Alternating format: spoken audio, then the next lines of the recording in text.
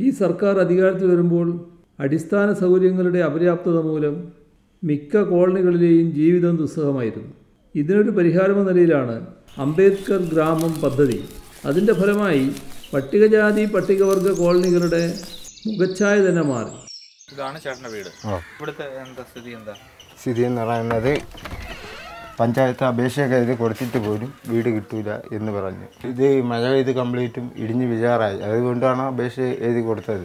മഴ പെയ്യുമ്പോൾ കംപ്ലീറ്റും വെള്ളം വീട്ടിന്റെ അകത്താണ് കയറുന്നത്. ഇവിടെയാണോ പാചകം ചെയ്യുന്നത്? അടുക്കള അതായിരുന്നു. അത് ഇടിച്ച് ഈ മഴ പെയ്ത് ഇടിഞ്ഞു പോയതാണ്. അത് പിന്നെ അകത്തിട്ട് വേവിക്കുന്നതാണ്. കിടക്കുന്നതും കിടക്കുന്നത് ഒരിടത്ത് തന്നെ. ആ അത് റൂമായിരുന്നു. അത് ഇടിഞ്ഞു പോയതാണ് മഴ പെയ്ത്.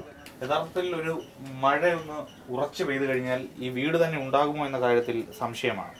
പട്ടികജാതി പട്ടികവർഗ കോളനികളുടെ മുഖച്ഛായ തന്നെ മാറി.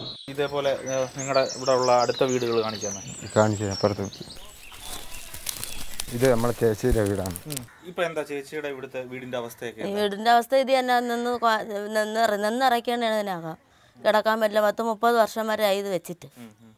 ഇവിടെ നിന്ന് അവർ സർക്കാരിന്റെ ഇതിൽ ഒരു വീട് തരാൻ തരാന്ന് പറഞ്ഞാൽ അവർ ഇതുവരെ ഒന്നും ഒരു തീരുമാനമായിട്ടില്ല.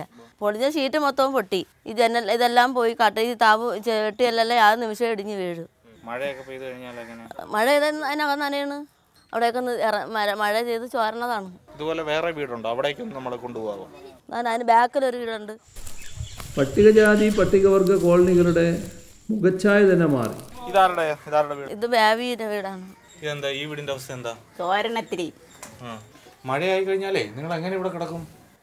ഒരറ്റത്ത് കിടക്കും. ഇത് അടുക്കളയോ ആ. അതിന്റെ അവസ്ഥ എന്താ? അവിടെ ചോര തന്നെ അവിടെയൊക്കെ നനയ തന്നെ.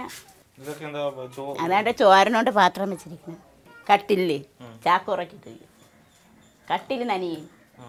മഴ പെയ്തു കഴിഞ്ഞാൽ ഇവിടെ മുഴുവൻ ചോർന്നൊലിക്കും അതിന്റെ ഏഹ്, ഒരു പാടുകളൊക്കെ നമുക്കിപ്പോഴും ഈ ഭിത്തികളിലൊക്കെ തന്നെ കാണാം പട്ടികജാതി പട്ടികവർഗ കോളനികളുടെ മുഖച്ഛായ തന്നെ മാറി.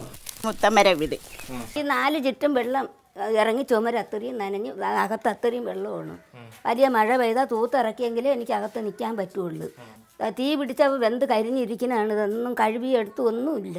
ഒറ്റയ്ക്കേ ഉള്ളോ? ഒറ്റയ്ക്ക്. അപ്പൊ മഴ എങ്ങനെ ഇവിടെ ഏഹ്, ഞാൻ അപ്പം പിന്നെ ആളുള്ളടുത്ത് പോയി കിടക്കും. കാലത്ത് വരുമ്പോൾ വെള്ളം കെട്ടി നിൽക്കും പിന്നെ തൂത്ത് കളയും. അല്ലാതെ ഞാനും തരിയായി പട്ടികജാതി പട്ടികവർഗ കോളനികളുടെ മുഖച്ഛായ തന്നെ മാറി. ഇതാരുടെ വീടാ. ഇവിടെ മഴ പെയ്യുമ്പോഴൊക്കെ എങ്ങനെയാ? മഴ പെയ്യുന്നതുകൊണ്ട് അവിടെ ഒത്തിരിയും ചോന്നൊലിക്കുന്ന ഇതിനകം കെട്ടിക്കിടക്കാൻ നിവർത്തിയില്ല കെട്ടിത്തരാനും എനിക്ക് ആമ്പിള്ളേരും ഇല്ല ഭർത്താവും ഇല്ല ആരുമില്ല പട്ടികജാതി പട്ടികവർഗ കോളനികളുടെ മുഖച്ഛായ തന്നെ മാറി. കഴിഞ്ഞ മാർച്ച് അഞ്ചാം തീയതിയാണ് ഈ ഭവനങ്ങളുടെ നവീകരണ പ്രവർത്തനങ്ങളുടെ ഉദ്ഘാടനം ഇവിടെ മന്ത്രി അടക്കമുള്ളവർ വന്ന് നിർവഹിച്ചു പോയത്. ഇപ്പോൾ യഥാർത്ഥത്തിൽ ഈ ബോർഡ് മാത്രമാണ് നശിക്കാതിരിക്കുന്നത്. വീടുകളുടെയൊക്കെ സ്ഥിതി പരിതാപകരമാണ്. പറഞ്ഞ വാക്കിന് വിലയുണ്ടെങ്കിൽ ആ വീടുകളുടെ എല്ലാം നവീകരണ പ്രവർത്തനങ്ങൾ പൂർത്തിയാക്കണം. എത്രയും വേഗം പൂർത്തിയാക്കണം. Cameraman സജികുമാറിനൊപ്പം A K Stephen Mathrubhumi news Thiruvananthapuram.